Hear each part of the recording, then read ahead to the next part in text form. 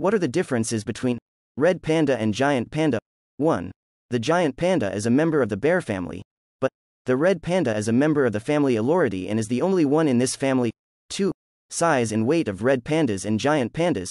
The average giant panda weighs anywhere from 250 to 550 pounds, while the red panda can weigh anywhere from 7 to 15 pounds.